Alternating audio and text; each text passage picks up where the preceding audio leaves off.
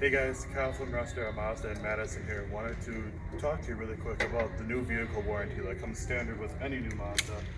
On this, you're going to have a three-year, 36,000 mile bumper-to-bumper warranty and a five-year, 60,000 mile powertrain warranty. Now, along with that powertrain warranty, you're going to get Mazda's complimentary roadside assistance package as well. Stop in today. I'd love to tell you more about it. See you soon.